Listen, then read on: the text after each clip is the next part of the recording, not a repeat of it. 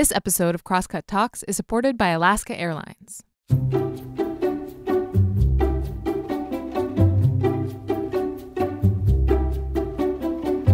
Hey, welcome to Crosscut Talks. I'm Mark Baumgarten, the managing editor at Crosscut, and today we're talking about evangelical Christianity and how it is that the leaders and followers in that faith became supporters of Donald Trump. The argument here is pretty simple. Critics contend that it's the height of hypocrisy for a faith built on the teachings of Jesus Christ and guided by the Ten Commandments to empower a person who has chosen supercharged hubris over humility and who is unbound by a number of those divine laws. The question is how this could happen. According to our guests, the answer to that question begins long before Trump descended that golden escalator to announce his presidential campaign. Back to the movement's alignment with politics, and perhaps even as far back as its very beginning. As you know, I listen to every one of these conversations, and I have to say that this one is maybe the most fascinating I've heard. These are some very smart, thoughtful people tackling a subject that's deeply personal to them. Reverend Rob Schenck is an evangelical minister who has led missionary work around the globe, and he was, for 30 years, a political activist on the religious right. His latest book is Costly Grace An Evangelical Minister's Rediscovery of Faith, Hope, and Love. Reverend Lenny Duncan is a pastor of the Jubilee Collective in Vancouver, Washington, and he's the author of United States of Grace a memoir of homelessness, addiction, incarceration, and hope. Dr. Kristin Du Mez is a professor of history at Calvin University, where she focuses on the intersection of gender, religion, and politics in recent American history. Her new book is titled Jesus and John Wayne How White Evangelicals Corrupted a Faith and Fractured a Nation. Leading the conversation, in expert fashion, is USA Today columnist Kirsten Powers. One additional note you won't hear a defense of Trump or the evangelicals who stand with him here. We did reach out to a number of evangelical ministers who support the former president, but none were available to take part in the conversation. All right, I hope you enjoy the talk. If you have any feedback, please send it to talks at crosscut.com. Okay, on with the show.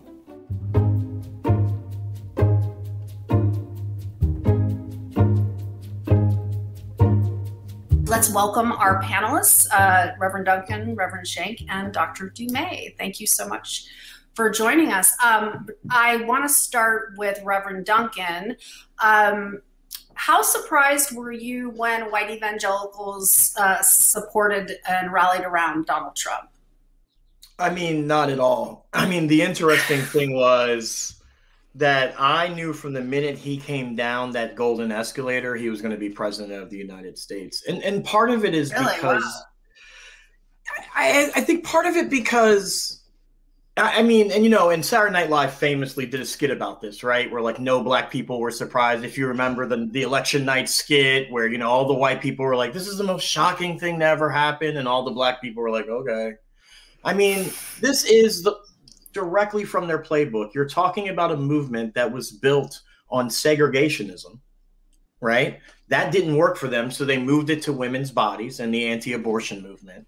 And they've constantly weaponized themselves as a political ideology that has come down over and over again with white supremacy and this and and and and the pol and, and some of the worst politics of our country over and over so this wasn't surprising at all. This is exactly where the evangelical movement's been headed since it started.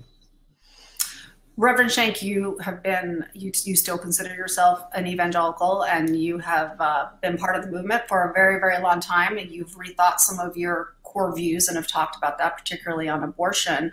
Uh, how did it seem to you when you when you saw him come down that escalator? Did you expect to see even white evangelicals rallying around him? Well, uh, had I known Reverend Duncan at that time, maybe I would have been better prepared because uh, it did it did take me by surprise. Mostly because, frankly, when I was on the religious right, the hard religious right, I often used Donald Trump as the epitome of what it meant uh, to be an immoral person, hmm. uh, to violate the Ten Commandments, for example. In fact, I can remember in one sermon checking off the numbers of commandments that Donald Trump had violated flagrantly. He was a great sermon uh, example. So when my folks went over to Donald Trump, and I watched him work a room, in fact, the first time I encountered him in person was at the 80th birthday party of uh, one of the uh, premier uh, Christian celebrities uh, and in the country, and he'd worked uh, the room. That was Pat Robertson of the Christian Broadcasting, uh, you know, network CBN. Mm-hmm. And I watched him work a room, and and as I saw each table full of my colleagues, uh, very conservative evangelical leaders from all over the United States, fall in line frankly, by that time I was mortified. I, I, I, thought something very terrible is happening here. And that worked in concert with my own examination of the parallels between what happened in Nazi Germany to the Evangelische Kirche, the evangelical church of that country of that period, and what was happening in among my own peers.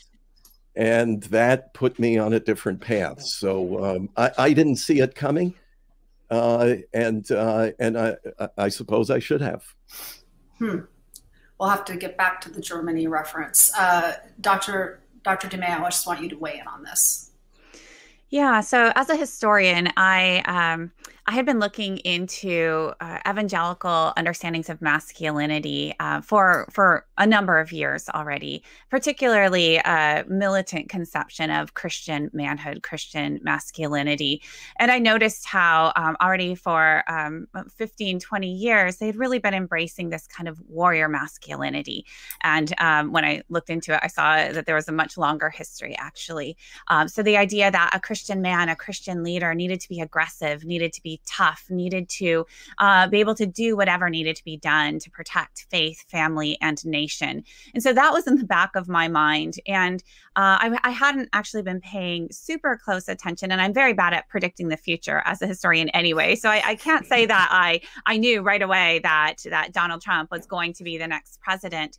But I was watching evangelicals very closely, um, especially um, through the primary season and seeing more and more um, end up backing Donald Trump really from the grassroots up, from the bottom up, not not initially from the leadership.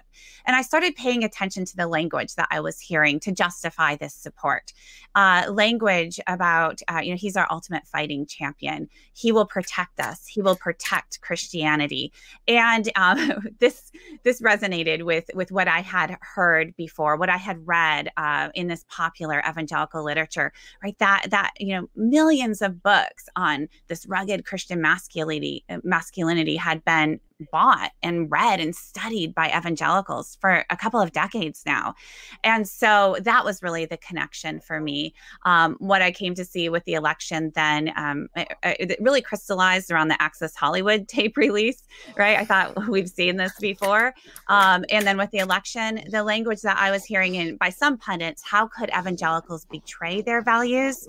From the history I had studied, I realized that wasn't the right framing. Um, we just needed a better understanding of what evangelicals evangelical values actually were.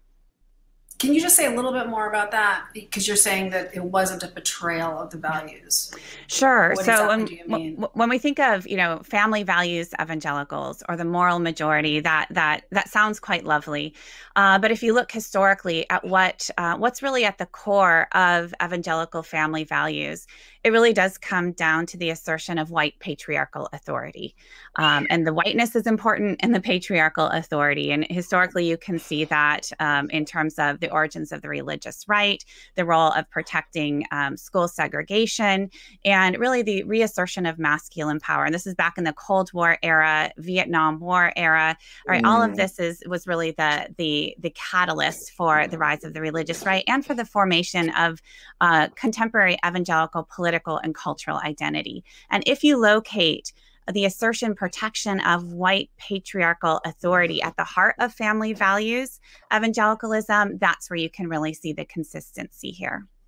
That's hmm. the, mm, go ahead. Yeah, no, I was just going to say, I mean, that's 100% it is that, you know, um, you know, from my perspective, what we're constantly running into is the the the the death gasp of white supremacy in the public sphere. And it's grabbing anything it can. And part of what it's grabbing is the evangelical movement. I mean this is a movement that can't even recognize i mean this is a movement that would put christ to death today. If a brown man robbed a religious bank after having a street style protest they would absolutely support his death right? This is they they, they wouldn't even recognize jesus if he showed up. Well, and so, so yeah. it, it, it, it all is about reinforcing white supremacist or white heteronormativity on the world. I mean you even look at what um, of some of the problems it's having with uh, in the umc church right now right? I mean that's just a product of colonialism. They went over there and did missionary work where they convinced a bunch of African bishops that the best way to live in the world is to have 2.5 kids in the nuclear home and support capitalism and all these American values. And now the UMC is going to be split in half because those same bishops came back and they won't allow queer kids into their denomination. Right? This right. is all a product of colonialism, white supremacy, and the reinforcement of that. And it's very important to uh, to to America and this republic that that continues to, you know, happen. And and and, and evangelicalism is the fuel for it. It's the religious fire that they throw on it. It's how they get people fired up about it and believe, just like the doctor was talking. It's about king and country and serving the Lord and protecting their family. It's but as a pastor, can you speak because a lot a lot of people in our audience are not necessarily religious, and so could you speak to the, what you just said that you know they have created this image of Jesus that is incorrect? Could you explain to somebody who perhaps isn't a believer or isn't familiar? Um, although honestly, I, I often find that people who aren't believers know more about Jesus than some of the people in the church. But um, if you could just maybe explain what they're seeing incorrectly. Yeah, absolutely. I mean, I think the big thing that the the, the big mistake that uh, religious leaders, particularly American religious leaders, have mistaken in the story of Christ is it's through a conspiracy of the state and religious leaders that the Messiah is killed. You have to understand for Jesus to be publicly lynched, and that's what we experience in the gospel. It's Jesus being publicly lynched the same way Emmett Till was lynched, the same way that Trayvon Martin was lynched the same way that George Floyd was lynched by the same systems. Mm-hmm. I mean, think about it. He's arrested in the middle of the night for false charges. His friends have to escape an arrest. He's then publicly lynched, r- ripped naked, you know, which is sexual assault in front of the entire community, beaten to the core.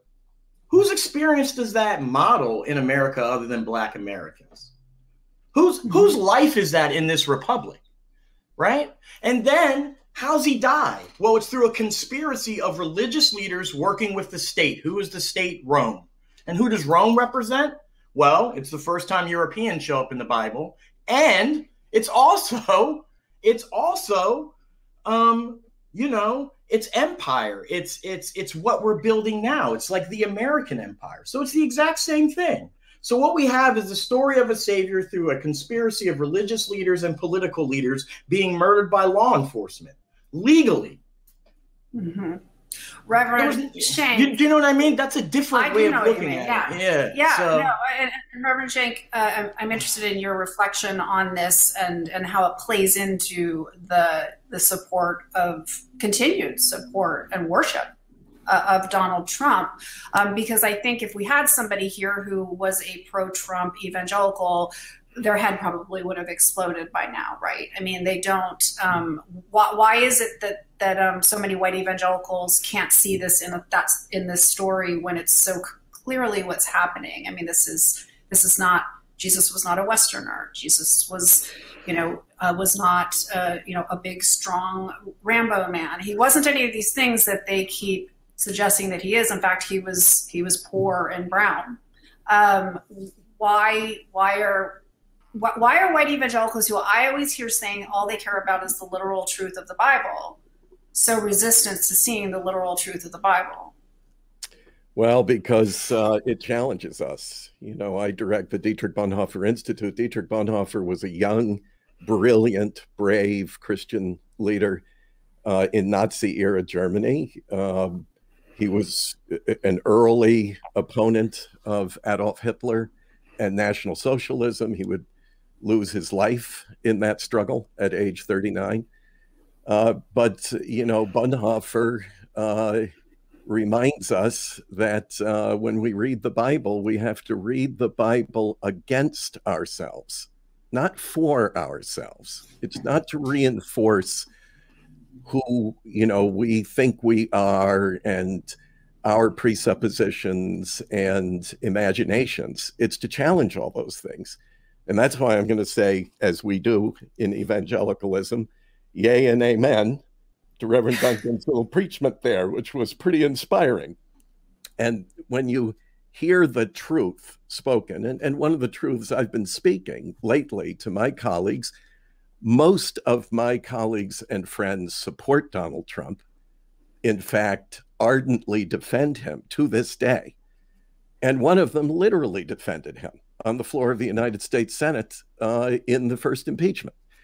Uh, so I keep company and conversation with these folks, and we text and we talk and we email and we exchange opinions and ideas. And most of them uh, are unaware that Jesus was a man of color. So one of the but what about geography? I'm sorry, I have a really hard time with this. Well, it's like it's geography. Look at, at who do they think lives there? Well, uh, you know, a European uh, Israeli, uh, you know, an Israeli with European blood. That's who they imagine lives there. Uh, and incidentally, I'm going to talk as something of an insider here. My father was Jewish of Ashkenazi descent. Uh, my mother, uh, born Catholic, raised Episcopalian, and converted to Judaism to marry my father. And I was raised in a Jewish environment, but uh, it was European Judaism. And that's what people imagine because, you know, most of the leaders you see in Israel are of European descent. So let's say, you know, Jesus looked like a German. Uh, and in fact, most of them have a portrait in their church or in their home that reflects that. And so that's what how they've been formed. I was formed a little bit differently. I was aware that Jesus was a, an East, a Middle Eastern man from the Levant, and therefore looked more like a North African than he would have like a European. And that always kind of, you know, left me with curiosity. Like, does anybody really know what Jesus looked like here? I mean, he didn't look like he, a Scandinavian immigrant, as yeah. we see in, in most churches in the Midwest in the United States. But most evangelicals have grown up only on that. Uh, that's how they've been shaped and formed. So some of this uh, is educational.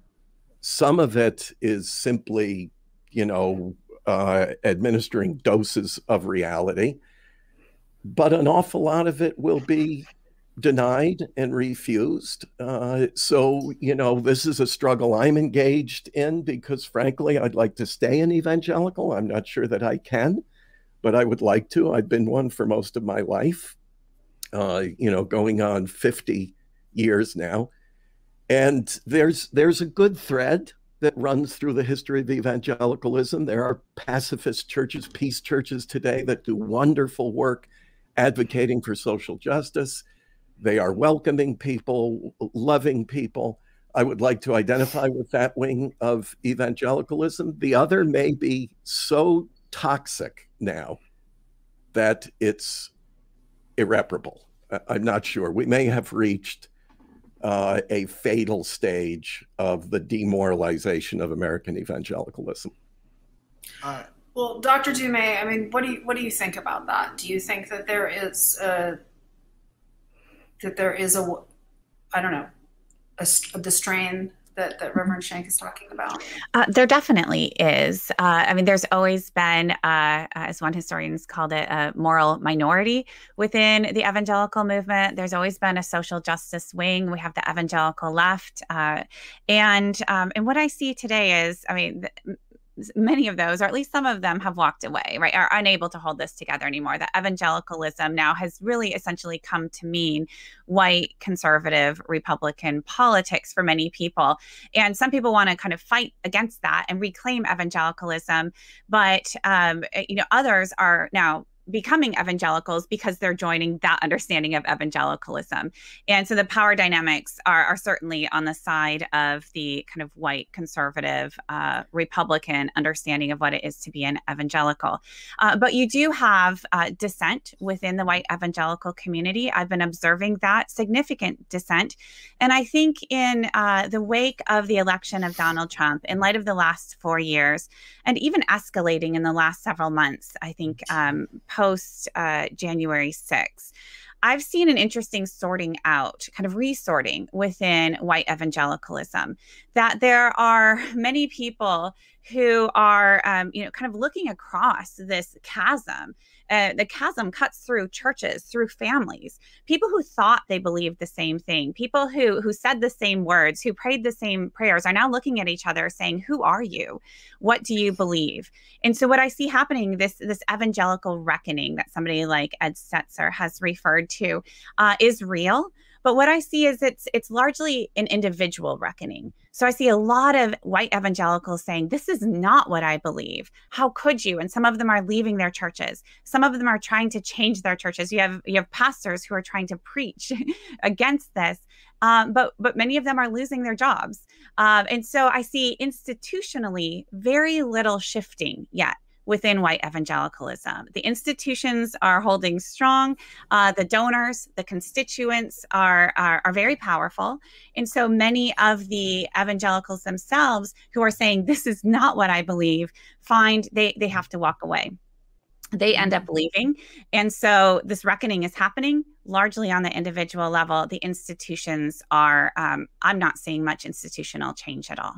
And may I just add a, a, a, an asterisk to the professor's remarks there quickly, and that is, if American, if white American evangelicalism can be reclaimed at all, it will probably require a revolution, uh, a reformation on the scale of, uh, you know, the the, the 16th century uh, Reformation because it, it has to be so radically changed and transformed to the core. I don't think trimming around the edges will help.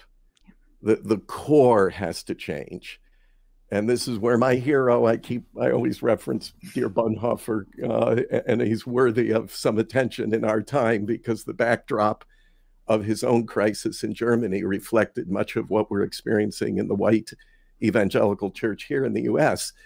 And Bonhoeffer, uh, when he was challenged, even as a young teenager, uh, he was asked by his family, why would you want to uh, join up with a moribund institution as a theologian or a member of the clergy? He said, if the church uh, is moribund uh, and corrupt, uh, then I shall reform it. He was that bold and brash. And I think we have to go to the core that both the professor and uh, and Pastor Duncan refer to here. We have to go to the absolute core of it.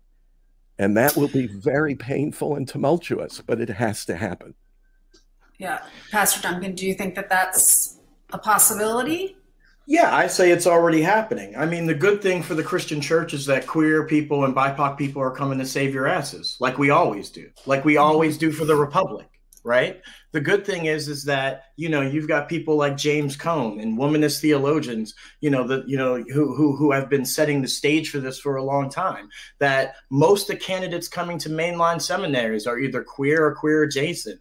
That there are trans people who are like representing the power of the um, the Imago Dei or the divine in this world. That this reformation's been happening the entire time, and what we're really seeing out of evangelicalism is its response to that. You know, in most major American seminaries, you can't even gender God without getting an F on a paper. But most pastors are afraid to tell you about the sacred feminine from the pulpit. It, it, it, it, it's beyond the fact that that they are trying to um, you know because education is a part of it uh, but but as a pastor and as a clergy member we play a part in it and clericalism is really the problem with the church right now. It's the fact that most people want to retire off the widow's mite. Most pastors want to retire off the widow's mite. You know, at our church at Jubilee Collective, our whole thing is we don't even call ourselves a church. And our saying is our job is to work Pastor Lenny out of the job. We need to be preparing people for the world beyond the Christian church because there will be no Christian witness in America if we do not throw ourselves wholeheartedly into the work of dismantling white supremacy. And I think the timetables moved off, moved up. I used to think it was 50 years from now. I think it's like 10 or 15. Not only are the institutions dying, but the sacred story of the revolutionary Jesus Christ may be gone from the North American continent. And it will only be a phenomenon of the global south. And that's because that is who Jesus always is with the people on the streets. Here in Portland, he's out marching every day. I don't know what Jesus is doing in your town. And it's not the Christ that evangelicalism knows, or the mainline church for that matter. We have just as much sin, just as much brokenness, and just as much to pay back to this republic as anyone else. So, as a pastor, it, it, it, it's it's it's it's our own desire to keep our own jobs our selfishness and our fear to tell the truth. That is the problem with the church. It falls a lot at our feet. Yeah, but I, I think, I mean, something we've all been talking about is that with the white evangelical church, though, they're very uh, focused on and very good at, frankly, amassing power. Uh, and so it's not, it, you know, we speak of it as a church, as a, as a religion, as a spiritual movement, but it's also, you know, you were we were talking during the break it's sort of like a corporation or a, a business or an ideology. It's um, which is why it's hard to imagine it going away. Because I think, you know, right now we're seeing a lot in the news. The latest move that they've made is to come out against critical race theory and completely distort its meaning.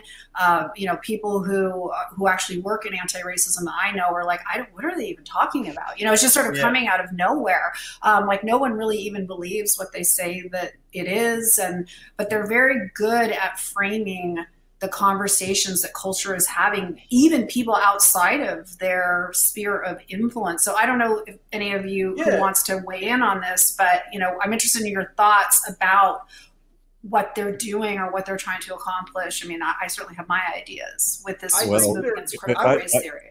I, I would just say, say their goal is accomplished, though. It's Christian nationalism. Their goal is accomplished. I don't know if the evangelical church is even a church anymore, if it's just become a nationalist ideology. And that's what it really is. And critical race theory plays a part in that. You have to keep white people pure and you have to keep this country pure and keep them in power. And and there I think lies the critical question. What what is the nature of the American evangelical movement now? Is it the church? Are we even Christian? And I would argue that in fact we are not. We are no longer a Christian movement. We are no longer a church. I lived through that transformation. I made my public profession of faith in Jesus Christ in 1974.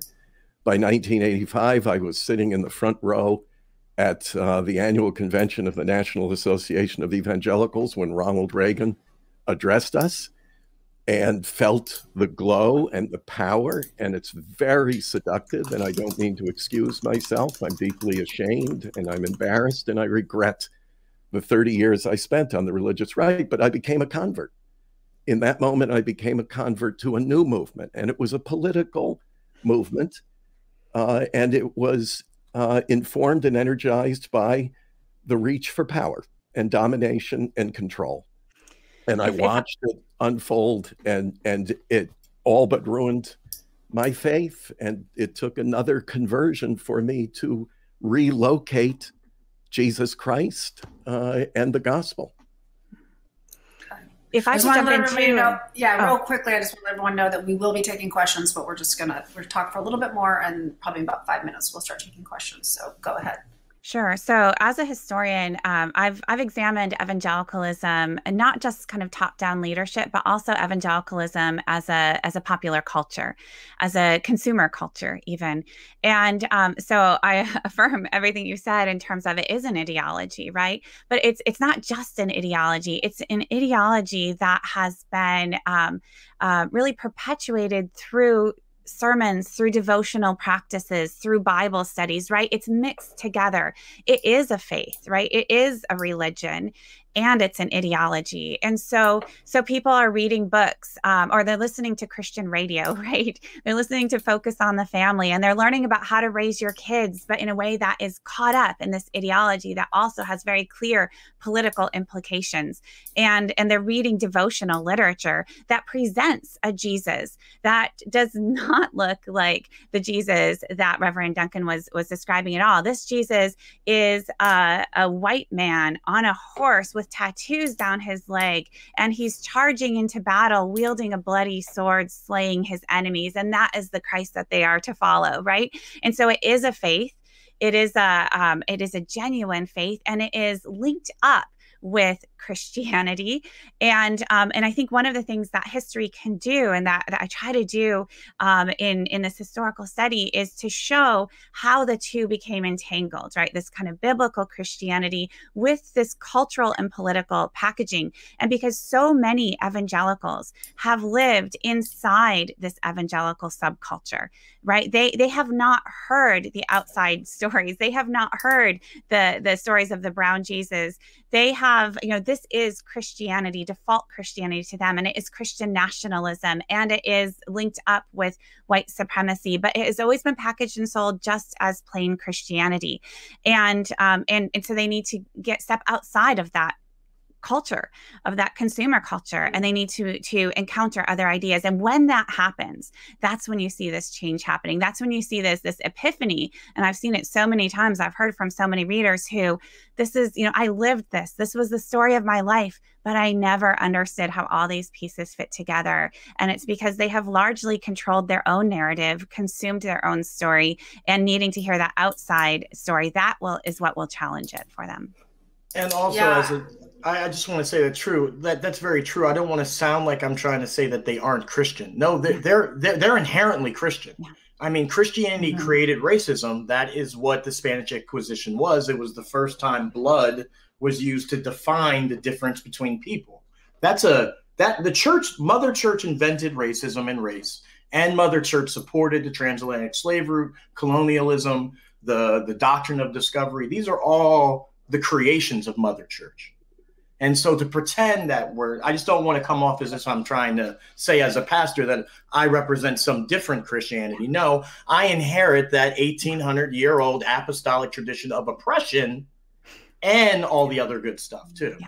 Exactly. That's all mine. Yeah, which is why I think it is. It's the both and in the church, right? The the church is both been an unbelievably oppressive, brutal uh, force uh, in this in this world, and it's done a lot of wonderful things and has a lot of wonderful things to offer. I think the question is how do you, how do Christians make things right in this world? The things that they have made that they've broken. You know, how do how do you then come forward and try to fix where you've made a mistake? And and I'll say. Pastor Schenck, you have modeled that a little bit with reckoning, uh, and I'm going to move over now to some questions from the the people who are watching, and it relates to how you reckoned with your work around abortion um, somebody asks, how does the panel feel um, that the issue of abortion is so divisive and intractable for our country? Can we have any hope that we'll find common ground or make some kind of peaceful compromise on this issue? And I'm wondering, um, Pastor Schenck, if you could talk a little bit about that and just tell a little bit about your story. Well, I'll just start by saying, you know, I entered what is commonly referred to as the pro life movement back in the late 80s. When I did, uh, we identified very closely, for good or for bad, uh, with the civil rights struggle. We sang all those songs.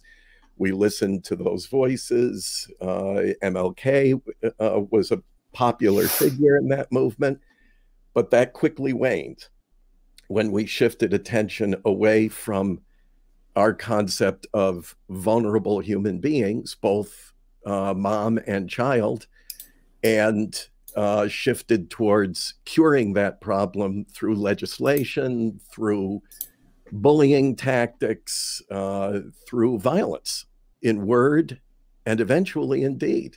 Uh, there were people in my wing of the movement uh, who were present in events I hosted that eventually picked up uh, guns and started shooting uh, abortion uh, providers and, and others. Uh, so, you know, that shift occurred very early on in the movement. And it took me a long time to face the reality of that. Once I did, I realized this is no longer about vulnerable human beings. This is about dominating and controlling vulnerable human beings. Again, for the same reasons we've been discussing up to this point, I had to come to terms with that and a whole lot more, including the propaganda uh, that we had published and uh, promoted for three decades, uh, and eventually became a tool for individuals who, who, could not have cared less about the victims uh, or the vulnerable. They cared only about one thing using abortion as a quick means to mobilize voters uh, in their favor. And that was the Republican Party. Uh, it, it became crystal clear to me late, too late in the game, that the individuals I was working with in Washington, D.C., and the Congress and elsewhere uh, regarded the, the pain and sorrow and drama, uh, uh, you know, surrounding abortion uh, as anything worth their attention. It was only, will it get us the votes we need? And that was the end of the matter. And at that point, I had to start reevaluating, and that came too, too late in the game. Yeah, and I think it's fair to say Trump weaponized that issue uh, pretty well. Most um, yeah. So, for another question from somebody who's watching, uh, they, would like to know how the prosperity gospel influenced evangelical support of Trump. Um, Dr. Du Mez. Yeah, that was a, a, very influential wing, and and you know you can get kind of kind of pure prosperity gospel, but then just the influence of these teachings uh, throughout American evangelicalism, right? Because evangelicals are rather promiscuous consumers within this larger movement, and so the reach of the teachings of success of um, of what leadership looks like is somebody who is wealthy, right? In in in this case, um, I, I, looked a lot at ideals of of you know leadership in terms of masculinity, in terms of power, uh, but you can be a, a, warrior on the battlefield. You can be a, a warrior in the world of business, right? And there too, the ends will justify the means. And so so if you are for somebody like like Trump, who appears um, who appeared to be incredibly successful, incredibly wealthy, if you ignore all of his bankruptcies and his debt and so on, uh, right? That he um, he absolutely kind of fit into this this um, uh, framework of clearly God is blessing him and and his success is proof of that rather than what i, I think probably um, uh, many or at least our, our pastors here today would argue that the, the model of jesus is not one of worldly success, right? It's it's one of divesting of power. It is one of of poverty, of self sacrifice. Um, but the influence of the prosperity gospel throughout evangelicalism, um, and through this popular culture, through televangelism, and so on, certainly did set up many evangelicals to see somebody like Donald Trump as somebody who was anointed by God, who was this model of success, uh, even though that that really I think uh, contradicts the heart of the gospel teachings. Yes. And, and I would um, only um, I would only add to that quickly that money, of course, equals power. Yes. Right. And when we right. discovered, I can tell you from the inside, when I would sit with fundraising professionals who told me the the more anger and the more fear that I can gin up, the more money I will get for you. The more money you have, the more power and influence you will have. And I watched that take charge, just take possession of the movement I had identified with uh, for three decades at that point, and it completely changed the nature of it. Completely changed, and and I would say at that point, it apostatized from the gospel. Uh, so this all again, and and remember that the temptation to power in evangelical theology uh, yes. comes from Satan. Not from God. Yes. Um, Pastor Duncan, this is for you. Um, what what did you see when Trump cleared the crowd with tear gas to hold his photo op at the St. John Church during Black Lives Matter rally in front of the White House?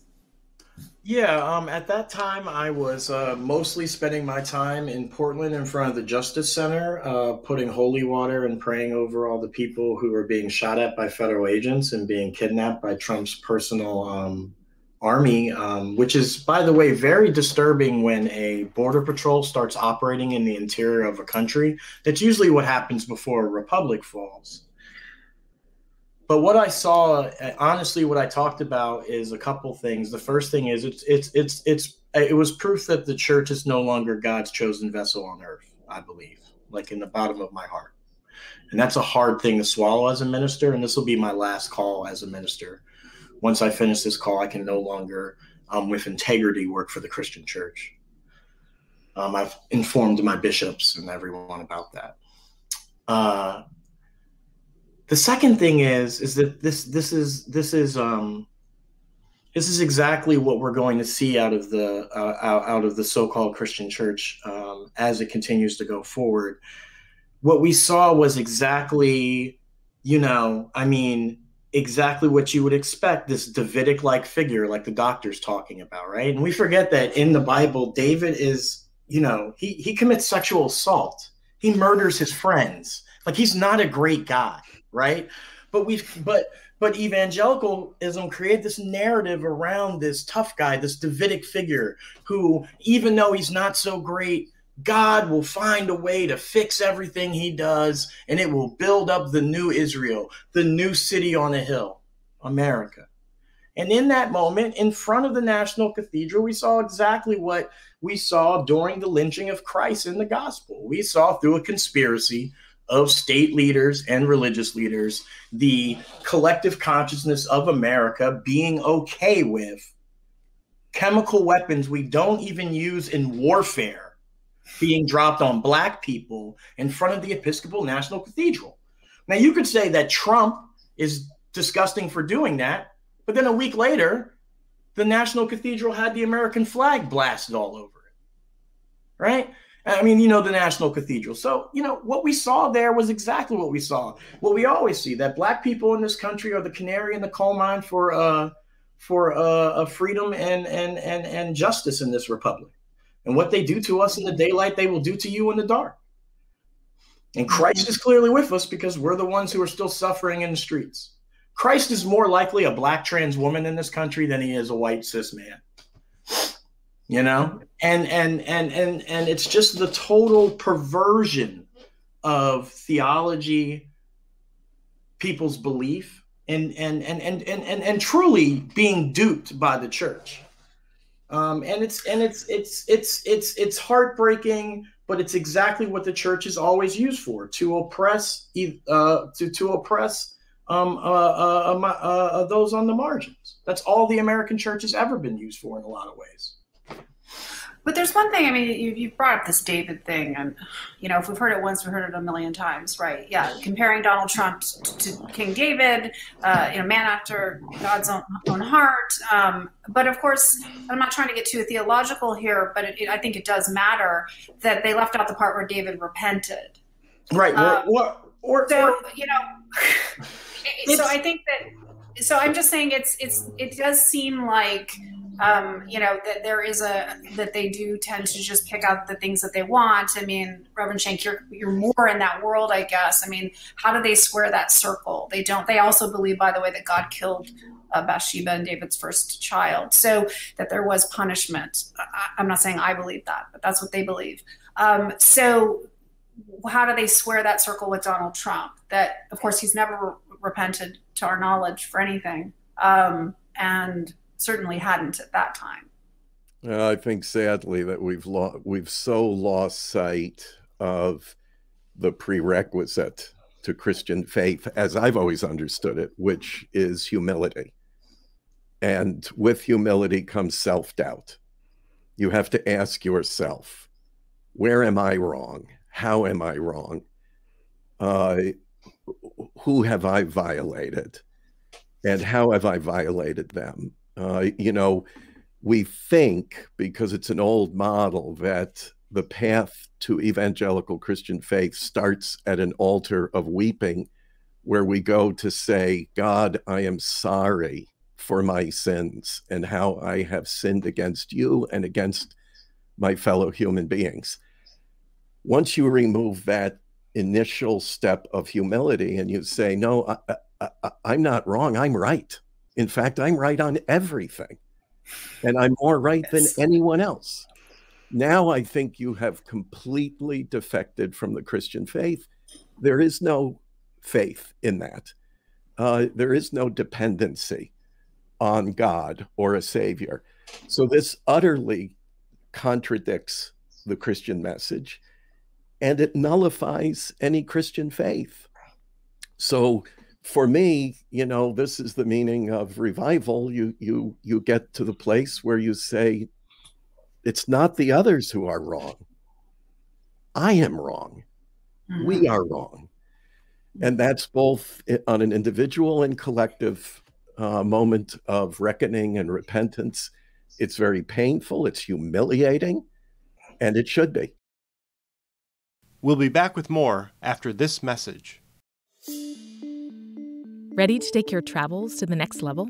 Alaska Airlines is committed to providing a higher standard of safety and cleanliness throughout your journey.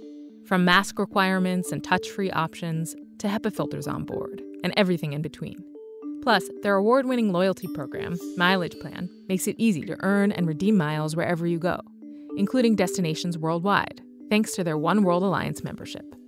If you're ready to land a low fare, next level care, and the best experience in the air, book now at alaskaair.com.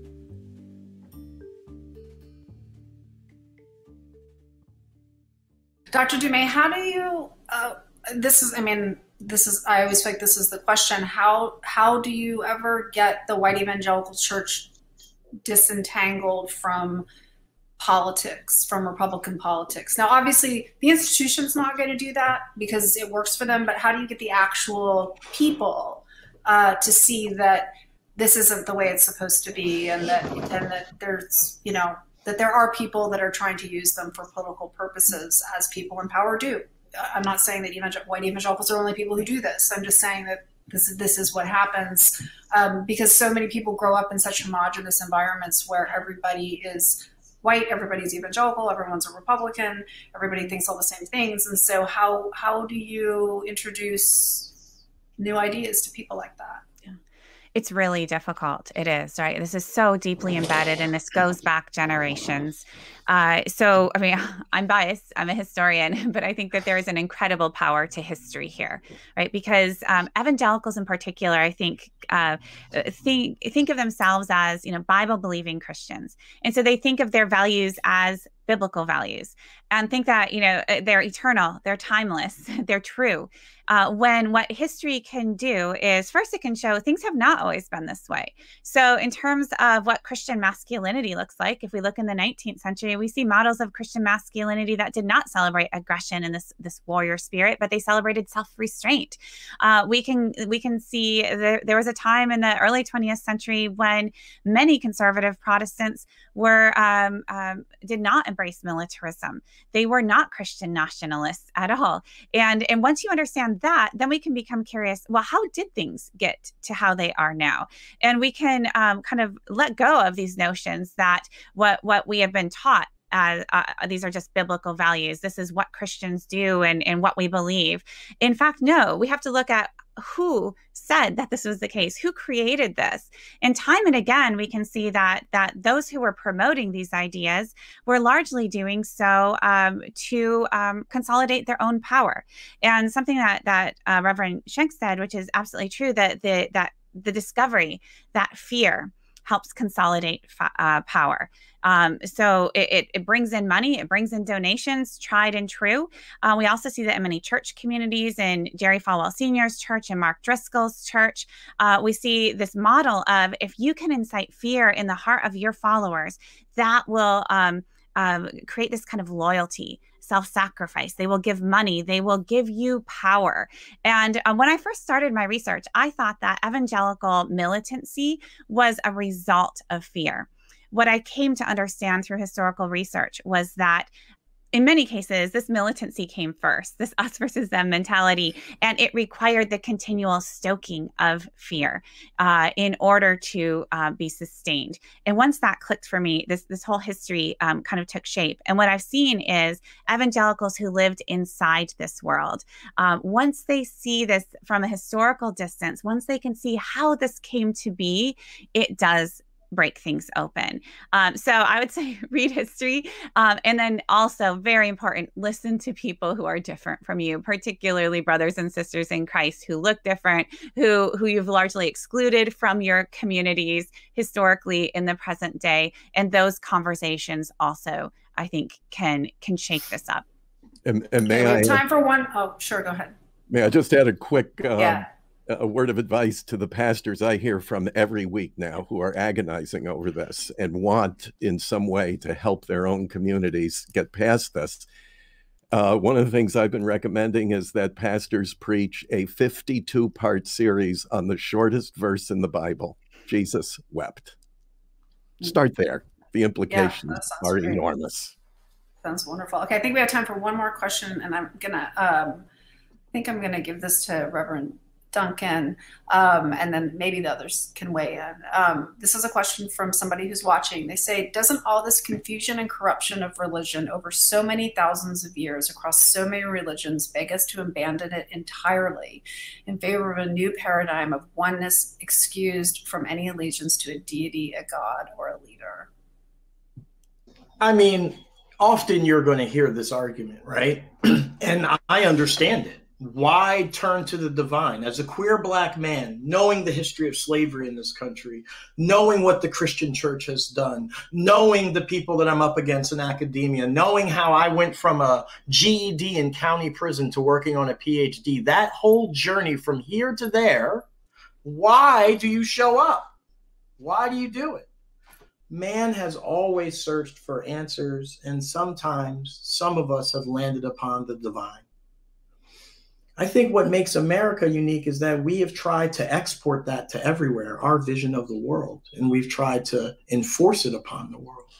And theologically, we do that because basically American churches support every mission in the world. So, why continue to do that work? I don't know, to be quite honest with you. I was not a raised Christian. I had very little Christian values. I was houseless.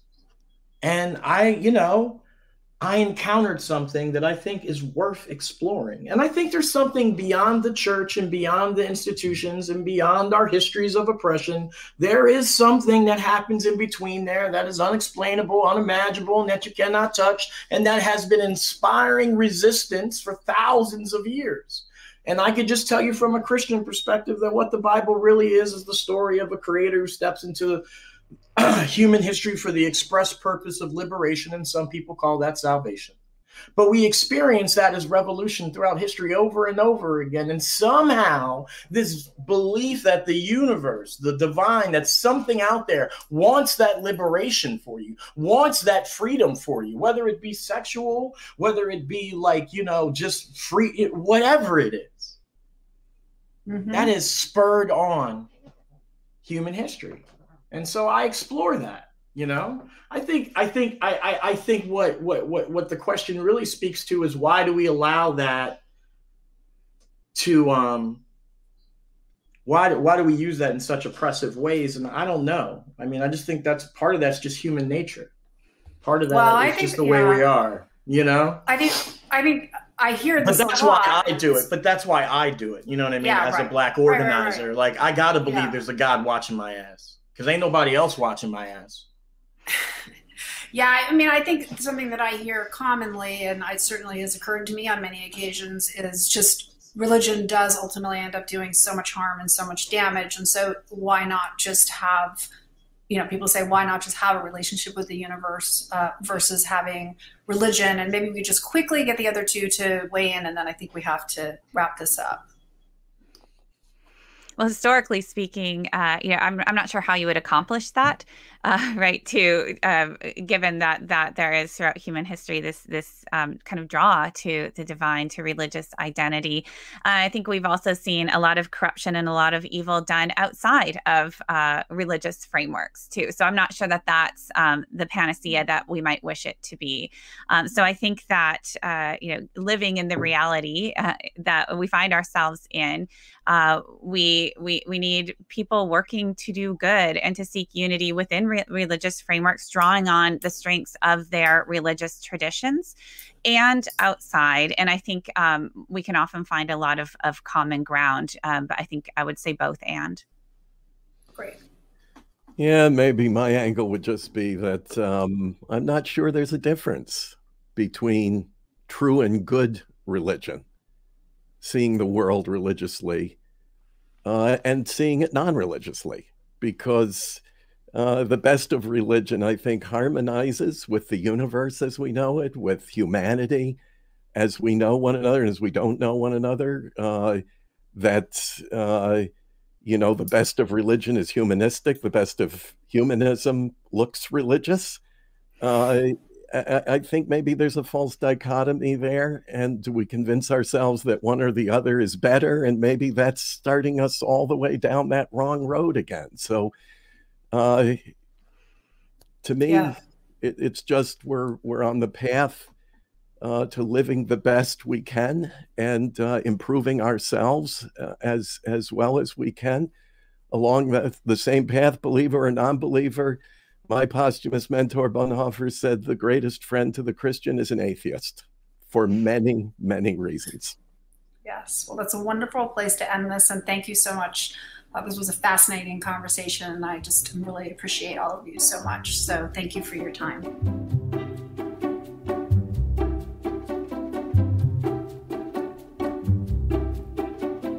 And that's it for this week's episode. Thanks to Reverend Schenck, Reverend Duncan, Dr. Du Mez, and Kirsten for the talk. And thanks also to the folks in the audience who asked questions. If you'd like to be one of those audience members for a future Crosscut event, go to crosscut.com/events. This episode of Crosscut Talks was engineered by Chi Lee. The live recording was engineered by Resti Bagcal and Viktoria Ralph, and the event was produced by Jake Newman and Andrea O'Meara. Ann Krisnovich and Mo Cloud managed our audience engagement. If you'd like to subscribe to Crosscut Talks, you can do just that on Apple Podcasts, Spotify, Stitcher, or wherever you listen. For the latest political, environmental, and culture news from the Pacific Northwest, visit crosscut.com. And if you would like to support the work that we do at Crosscut, whether it's the live events we host every month or the in-depth reporting we deliver every day, go to crosscut.com/donate. Crosscut Talks is a product of Cascade Public Media. I'm Mark Baumgarten. We'll be back soon with another conversation.